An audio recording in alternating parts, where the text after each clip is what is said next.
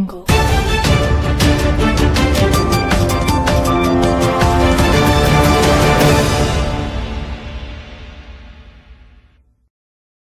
Xarici İşlər Naziri Sergey Lavrov Rusiyadakı Azərbaycan və Ermənistan icmalarının tanınmış nümayəndələri ilə görüşüb. APA-nın Rusiya Xarici İşlər Nazirliyinin mətbuat xidmətinə istinadən verdiyi məlumata görə Lavrov Kieskaya Polşa şirkətinin rəhbəri Qod Nisanov və Rusiya Ermənilər İttifaqının prezidenti Ara Abramyanla görüşüb.